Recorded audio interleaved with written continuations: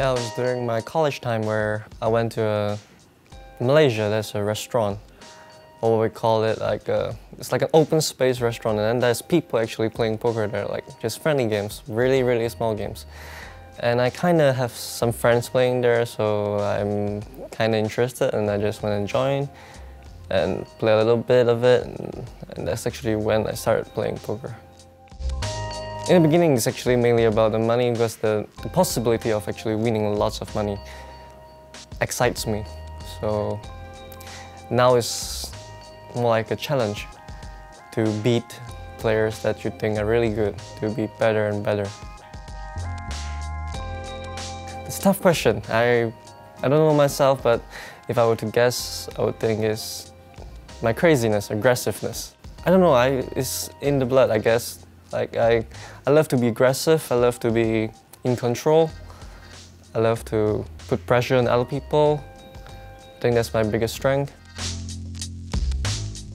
I have to thank Michael Torres for that because he's my mentor and he's a really, really good teacher. He improved my game like a ton. Like without him, I'm, I would never be who I am now today. And I have to thank him for that.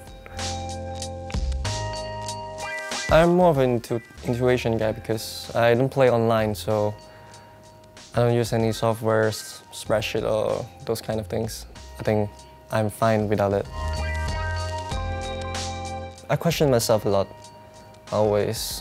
When I'm back into the room, I'll question myself on, did I do something wrong today? Or have I made any mistakes today? And then I'll ask around, I'll ask people that I know, ask my mentor, and see if I actually make mistakes and try to improve them then never make the same mistake ever again.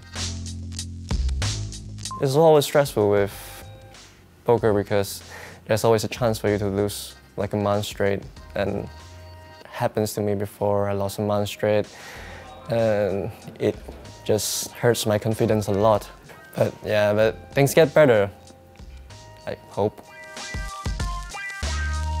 I don't think that's a chance to prepare, you know, because we are almost like 24 hours on call.